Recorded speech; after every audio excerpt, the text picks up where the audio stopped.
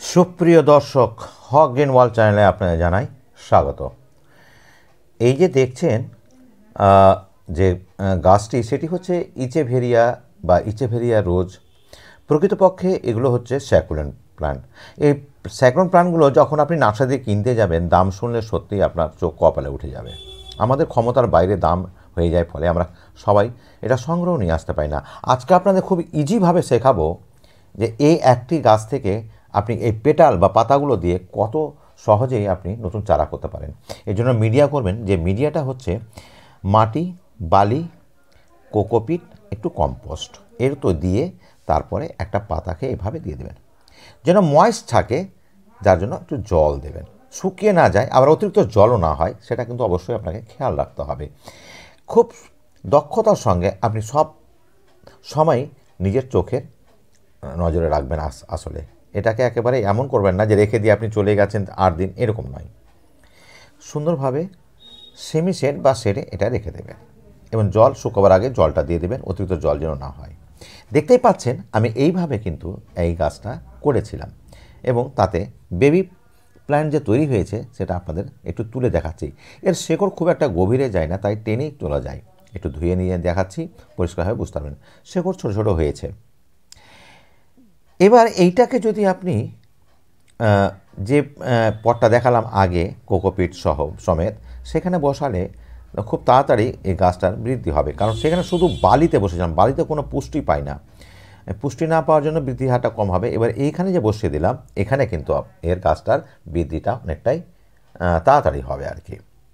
এবার এটাকে আপনি সেমি ছেড়ে রাখবেন। কোনো এক সময় রোদ পেলেই হবে। সরাসরি রোদে রাখবেন না কিন্তু। ইনডাইরেক্ট সানলাইট যেন পায় সেটা খেয়াল রাখতে হবে। জল অবশ্যই মাঝে মাঝে দিতে হবে। বেশি না হয়, যার জন্য আপনি খুব হালকা করে হাতে নিয়ে বা স্প্রেয়ার মেশিন দিয়ে দেখুন, এরকমই ধীরে ধীরে বড় হতেই থাকবে। এই এর যে সাইজটা হয়েছে, এই সাইজটা হয়ে গেলে কিন্তু আপনি পার্মানেন্ট চার ইঞ্চির পটে এটা বসাতে পারবেন। তবে এর মিডিয়া করা হচ্ছে আসল ব্যাপার।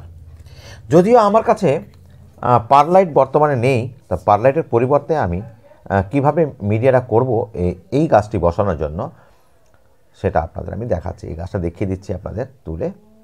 একটু ধুয়ে নিচ্ছি। ধুয়ে দেখালে শেকড়টা বুঝতে পারবেন, গাছটা বুঝতে পারবেন যে হ্যাঁ এটা পেটাল থেকে তৈরি করা হয়েছে।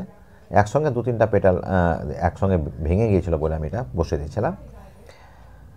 এবার আমাকে এই যে, নিচের দিকে আমি নিয়েছি বালি, মাটি এবং নুড়ি মেশানো ছোট ছোট। ওয়েল ড্রেনের জন্য থাকে। তো আমার কাছে যেহেতু নেই আর কি তো এখন আমি এটাকে ওই যে বালি চা যে সরু নুড়িটা পাওয়া যায়, পারলাইটের পরিবর্তে সেটাই আমি এখানে ব্যবহার করছি।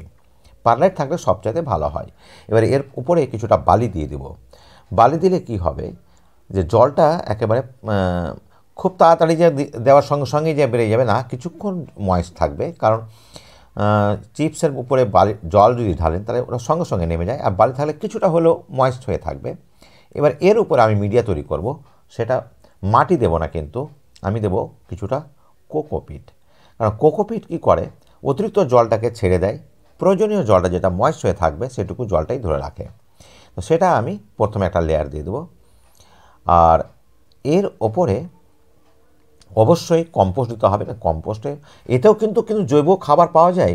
এটা অনেকে হয়তো যায় না কোকোপিটে কিন্তু প্রচুর জৈবিক অনুখাদ্যগুলো থাকে এবং এর ঘাটতি মেটাবার জন্য আবার আমি কিছু এখানে কম্পোস্ট দেবো। অবশ্য আমার কাছে সিটি কম্পোস্ট রয়েছে। এখানে আপনি গোবর শুকনো গোবর ডাস্ট চালার পরে দিতে পারেন কিংবা ভার্মি কম্পোস্ট দিতে পারেন। আমি দিলাম সিটি কম্পোস্ট এটা দিয়ে দিলাম। এবার জল দিয়ে জিনিসটাকে মিক্স করে নেওয়ার চেষ্টা করব। যাতে কোকোপিট আর এই ভার্মি কম্পোস্টটা মিক্সড হয়ে থাকে। এভাবে একটু হাত দিয়ে চাপতে গেলেই জলটা অ্যাবজর্ব হয়ে যাবে। জলটা শোষণ হয়ে যাবে, তখন গাছটা বসাতে সুবিধা হবে। এবার একটা কাঠি দিয়ে আমি একটা ছিদ্র তৈরি করব, যাতে গাছটার শেকড়টা সুন্দরভাবে সেখানে সেট হয়ে যায়। তো আমি তাই করছি আর কি, আপনারা একটু ধৈর্য ধরে দেখুন। ছোট্ট ভিডিও, স্কিপ করার কোনো প্রয়োজন নেই। এবার এই যে পুরোটা করলাম, সেখানে শেকড়টা বসিয়ে দিয়ে একটু হালকা হাতে চেপে সেটাকে অবশ্যই আমি বসিয়ে দেব। একদম পূর্ণ শেডে রাখব কয়েকদিন, কারণ গাছ একদম শেকড় সেটিং হতে একটা সময় লাগে। এক সপ্তাহ পরে তাহলে এমন জায়গায় রাখব যেখানে ইনডাইরেক্ট লাইটটা লাগবে। সরাসরি রোদে এই গাছটা রাখবেন না। নইলে এর যে সৌন্দর্য সে নষ্ট হয়ে যাবে। আর ঠিক গাছটা ধীরে ধীরে এই ধরনের যেটা দেখতে পাচ্ছেন এই রকম হয়ে যাবে। আশা করি আপনারা বুঝতে পারছেন যে ধীরে ধীরে কীভাবে একটা পেটাল থেকে এই ইচেভেরিয়ার রোজের আপনি চারা করতে পারবেন। আশা করি এরপরে আপনারা একটি গাছ ম্যানেজ করতে পারলে বা কারও বন্ধু বান্ধব বাড়ি গিয়ে একটা পেট, পাটাল দেখা নিয়ে আসতে পারলেও আপনারা চারা তৈরি করতে পারবেন। বন্ধুরা, যদি ভালো লাগে অবশ্যই আমার চ্যানেলটিকে সাবস্ক্রাইব করবেন। যারা করেছেন তাদের অসংখ্য ধন্যবাদ। ভালো থাকবেন। কথা হবে পরে